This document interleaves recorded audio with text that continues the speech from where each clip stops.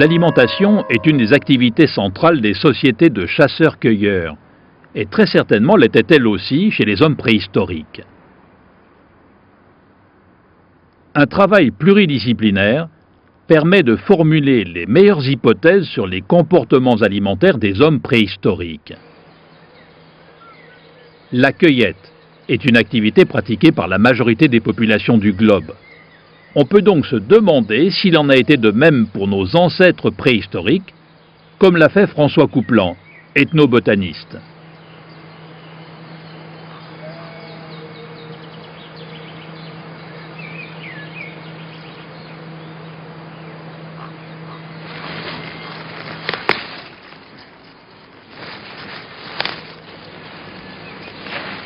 Les végétaux ont laissé très peu de traces aux époques qui nous intéressent, principalement des grains de pollen.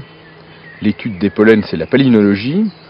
Et puis, à partir du moment où les foyers existent, des traces de charbon de bois, ce qu'on nomme l'anthracologie. Donc, la méthode que j'ai employée pour essayer de déterminer l'alimentation végétale potentielle de l'homme au paléolithique, ça a été de partir de ces restes végétaux et de regrouper les genres et les espèces qui ont été déterminés par la palynologie ou l'anthracologie et d'utiliser la science qu'on appelle la phytosociologie, c'est-à-dire l'étude des associations végétales, pour définir des associations végétales au sein desquelles je pouvais agrandir la liste des espèces potentiellement présentes en y intégrant les plantes qu'on doit normalement trouver dans telle ou telle association végétale, en tenant compte du fait qu'il est tout à fait probable que ces associations végétales sont restées telles quelles sur la période qui nous intéresse. J'ai trouvé une magnifique racine de réponse en épi qui est charnue et très tendre, qui peut se consommer crue ou cuite, ce qui présente un gros avantage.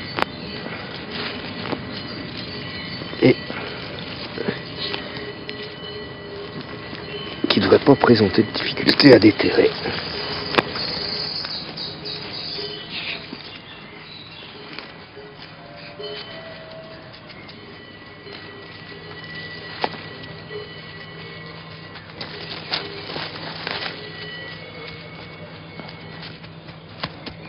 Ici, nous sommes dans l'association végétale qu'on appelle le phagion, de fagus le hêtre. Donc, à l'origine, ici, c'est un bois de hêtre. Cette espèce, par exemple, la, la réponse en épi, c'est une espèce qui est associée au hêtre. Donc, c'est normal. Les associations végétales sont basées sur euh, des observations de notre époque, donc, beaucoup de milieux ont été euh, modifiés. D'ailleurs, certaines associations végétales ont même carrément été créées par l'intervention de l'homme.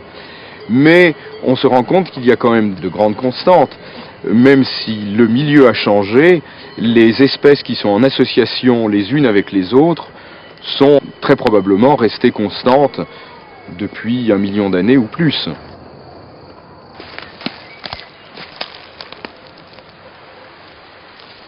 Voilà du sureau.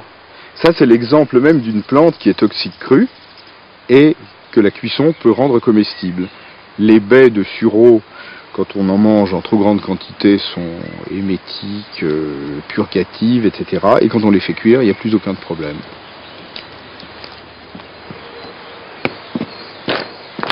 C'est la domestication du feu, environ 450 000 ans, qui a permis d'utiliser des plantes qui avant ne pouvaient pas l'être, parce que la cuisson permet euh, de favoriser la digestion, d'éliminer un certain nombre de principes toxiques, et donc d'élargir grandement la palette végétale à la disposition de nos ancêtres.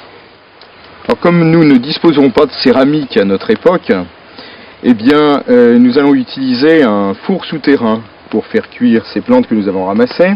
Et c'est une cuisson à basse température qui mettra euh, plusieurs heures, voire même plusieurs jours si on mettait beaucoup de, nourriture à cuire. Et c'est d'ailleurs très amusant parce que c'est un type de cuisson que redécouvrent maintenant les chefs cuisiniers, les grands chefs cuisiniers. On sait que pour garder toute la saveur des aliments, il faut faire cuire longtemps à très basse température. Et donc je crois que la boucle est bouclée maintenant. Si on étudie ce que font les ethnologues, l'utilisation de plantes, en particulier de plantes de cueillette, parmi les différentes ethnies qui, qui ont peuplé la planète, on se rend compte que le végétal est omniprésent.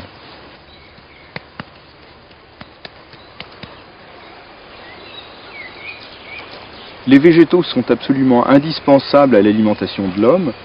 Ils nous apportent des glucides, il nous apporte également des protéines et il est intéressant de savoir que dans les feuilles vertes, dans les parties vertes des végétaux, on a des protéines qui sont complètes, équilibrées en acides aminés, de même valeur que les protéines animales, de la viande par exemple. Et les végétaux nous apportent également des vitamines, des sels minéraux, des oligoéléments. Euh, on ne peut donc que penser que nos ancêtres en ont consommé et probablement dans une quantité importante.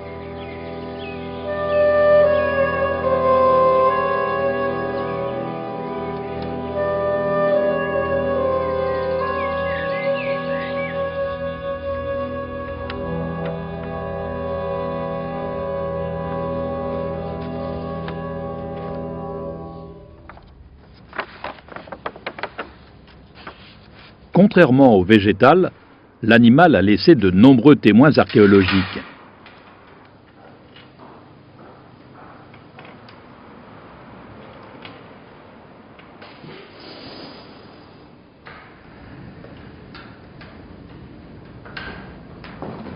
La discipline, l'archéozoologie, entre l'écologie et la paléthnographie, s'appuie essentiellement sur du matériel osseux. Cette discipline fournit en effet énormément d'informations sur le comportement alimentaire, notamment sur les méthodes d'acquisition, chasse ou charognage, également le méthode de traitement du gibier, par exemple la fracturation des os longs qu'indique la récupération de la moelle, donc récolte dans un but alimentaire, mais également aussi dans des buts non alimentaires, comme ici la récolte de bois de cervidés.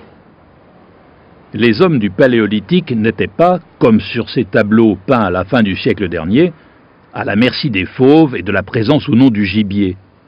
Leur stratégie de subsistance était parfaitement adaptée à leur environnement. L'animal y tenait une place importante. On peut regrouper les animaux consommés par les hommes du Paléolithique en deux grandes catégories. Ceux des phases glaciaires et ceux des phases tempérées. Lors des phases glaciaires, l'homme consommait préférentiellement le bison, le mammouth, le cheval, le renne, le chamois, le bouquetin, le rhinocéros laineux et l'antilope saïga. Lors des phases tempérées, l'homme préhistorique consommait plutôt l'aurochs, l'éléphant antique, le cerf, le daim, le chevreuil, le sanglier. Dans l'une comme dans l'autre, le chasseur du Paléolithique avait comme prédateurs concurrents le lion, la hyène, la panthère, le loup. Les caractères inhérents du gibier ont dû influer sur les stratégies synégétiques. De même, l'environnement a favorisé certaines techniques, comme l'utilisation de pièges naturels. Au Paléolithique inférieur et moyen, les armes et les outils étaient en bois et en pierre. C'est au Paléolithique supérieur que se développe une véritable industrie en eau et en bois de cervidés. Saguet, redresseur de saguet, harpon et des propulseurs qui améliorent la vitesse du tir et permettent au chasseur d'être plus éloigné de sa proie.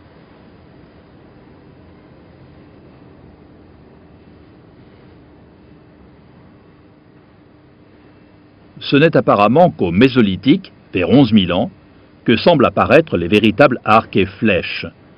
Les chasseurs n'abattaient pas le gibier au hasard, ils choisissaient les proies qui leur apportaient le plus de ressources pour un investissement en énergie et en temps minimal.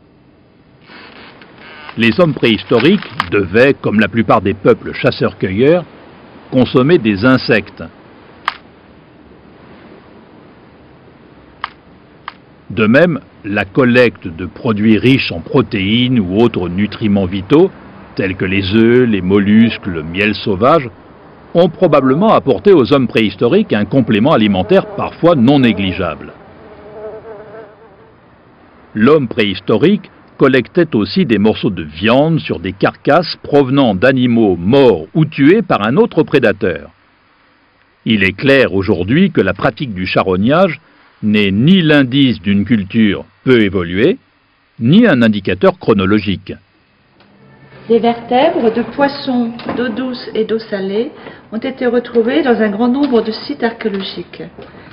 Ces vertèbres attestent de la pratique par les hommes préhistoriques de la pêche, dès le paléolithique inférieur, mais c'est surtout au paléolithique supérieur qu'elle se développe.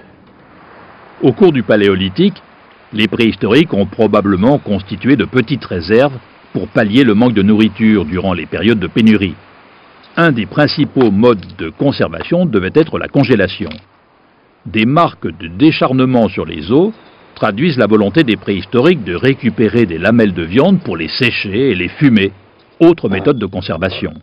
L'hypothèse du parquage du gibier, notamment des rennes aux Magdaléniens, a été envisagée par quelques chercheurs. Giacomo Giacobini est professeur d'anatomie humaine à l'université de Turin. Il dirige un laboratoire qui s'est spécialisé dans l'étude des traces laissées sur les os et les dents de l'homme et du gibier. Des renseignements sur les conduites alimentaires et les techniques de boucherie nous sont donnés par les méthodes d'analyse au microscope électronique à balayage du matériel osseux et dentaire. Ces méthodes permettent d'étayer et de prolonger le travail de l'archéozoologue.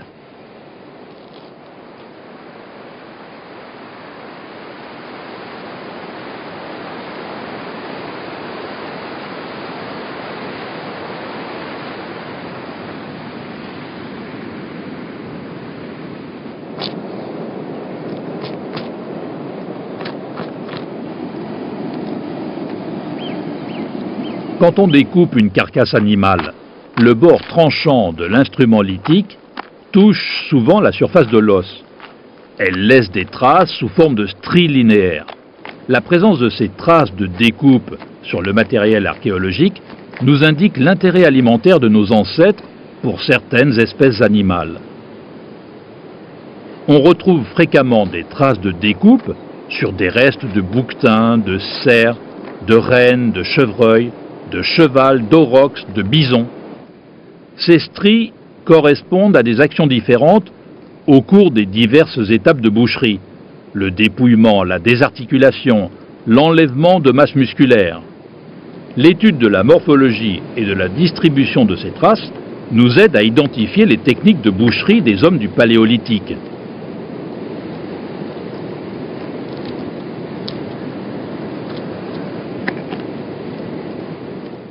C'est le fémur du bouquetin que nous avons découpé à l'aide d'un éclat de silex. Les stries présentes euh, sur une surface osseuse peuvent être liées à l'action du bord tranchant d'un instrument lithique, mais également à d'autres facteurs, comme euh, euh, une petite dent de carnivore ou une particule abrasive qui glisse sur la surface de l'os. Et si on veut voir euh, des critères diagnostiques, euh, on peut les observer au microscope électronique à balayage. Par exemple, là, on voit une strie de découpe faite par un, instrument lithique avec des caractéristiques typiques. On voit bien la strie allongée, une section en V, une certaine profondeur, et si on monte de grossissement, on voit, on voit mieux ces détails et on voit apparaître des stries secondaires qui sont liées aux micro-irrégularités du bord tranchant de l'instrument lithique.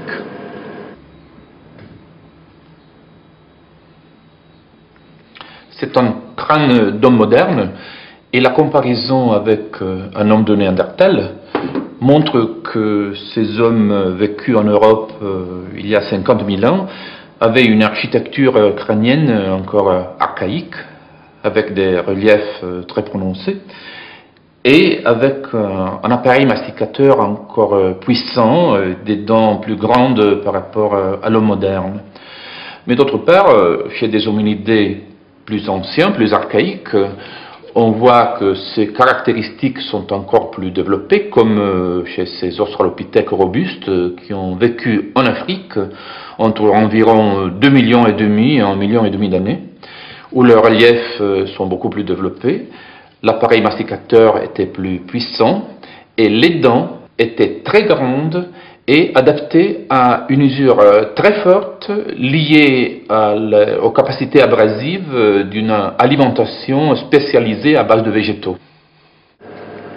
C'est une dent néandertalienne, une deuxième molaire inférieure. Elle est encore euh, assez grande comparée à celle de l'homme moderne. Ces néandertaliens ont encore un appareil masticateur qui est assez puissant et nous avons introduit une réplique de cette dent d'homme de Néandertal dans le microscope euh, électronique qui peut nous donner des renseignements sur les modalités d'usure. Une usure qui apparaît très importante euh, sur la plupart des dents néandertaliennes. Donc, euh, sur la surface de cette dent, le microscope nous montre des traces d'usure différentes, par exemple des, des cupules, c'est-à-dire des micro-éclatements de la surface euh, de l'émail, mais aussi des stries qui sont trop nombreuses, c'est-à-dire des traces euh, linéaires. Or, le rapport euh, entre ces types de, traces et la longueur des stries nous donne des renseignements sur le type d'alimentation plutôt carnée ou végétarienne liée à l'usure de cette dent. Après les études des structures macroscopiques et microscopiques de l'os, celui-ci peut fournir, par sa composition chimique, des informations intéressantes sur l'alimentation des vertébrés.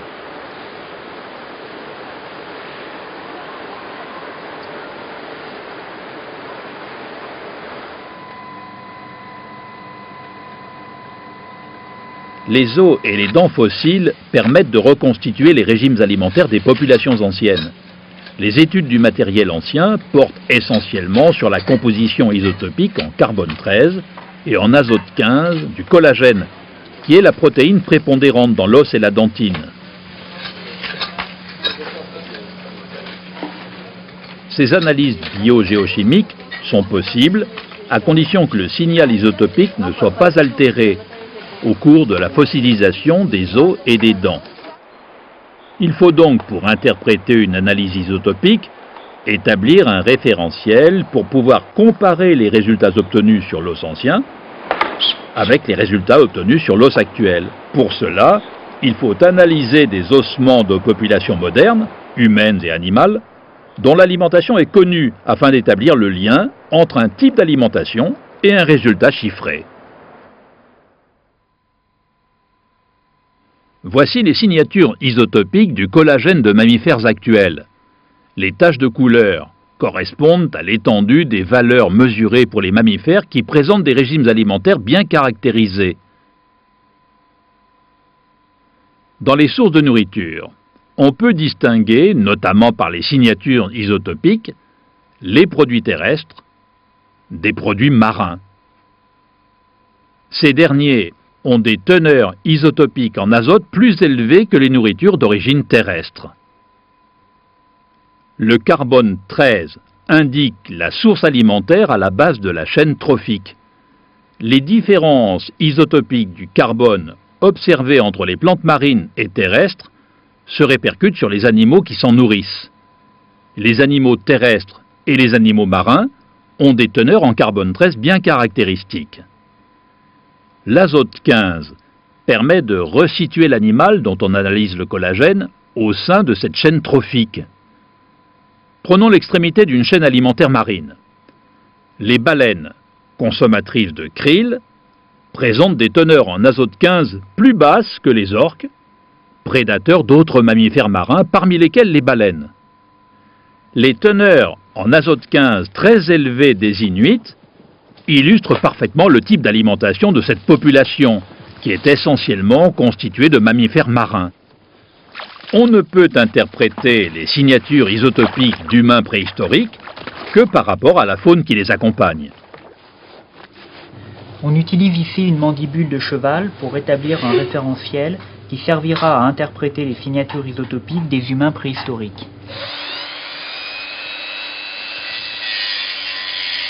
Je vais procéder sur cette mandibule de cheval à un découpage d'un fragment osseux, à son broyage et à l'extraction du collagène par un traitement chimique.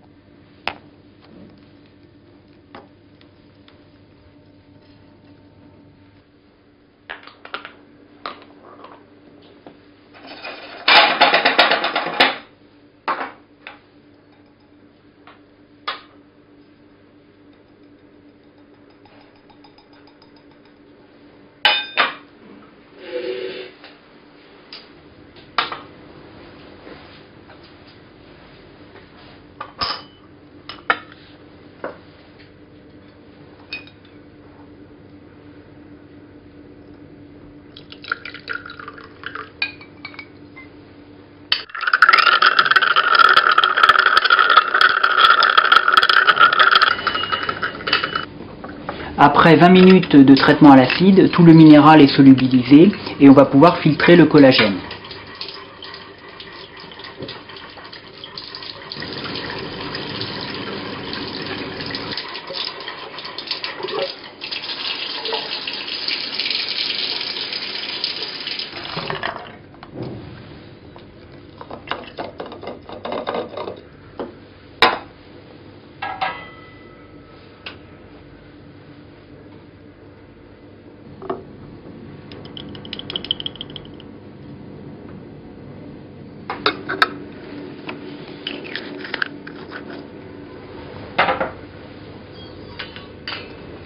Donc maintenant le collagène va être solubilisé dans une étuve à 100 degrés.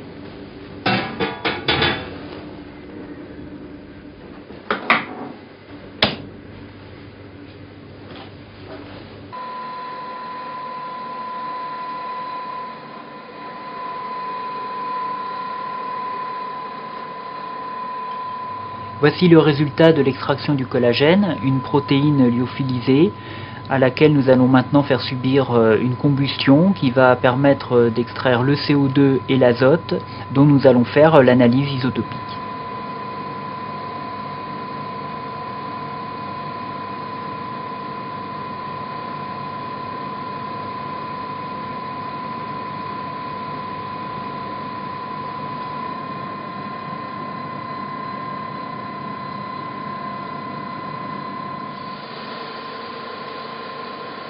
L'azote standard est passé ici dans le spectromètre de masse isotopique.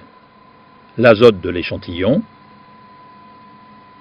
le carbone de l'échantillon, le carbone standard. Voyons les signatures isotopiques de collagène du néandertalien.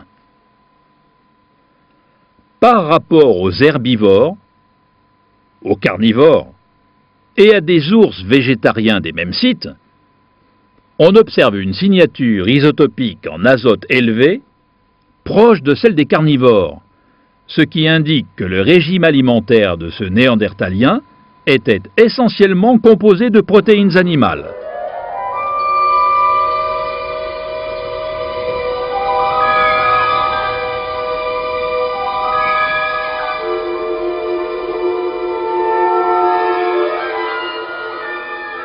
Il n'est pas impossible que la consommation de la viande ait joué un rôle essentiel dans l'émergence progressive de l'humanité à partir de la souche des premiers hominidés.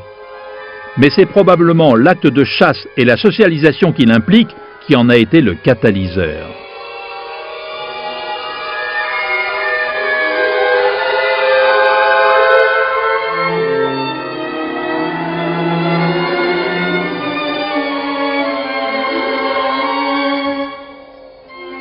Très tôt pour l'homme, l'animal n'est pas seulement bon à manger, il est aussi bon à penser.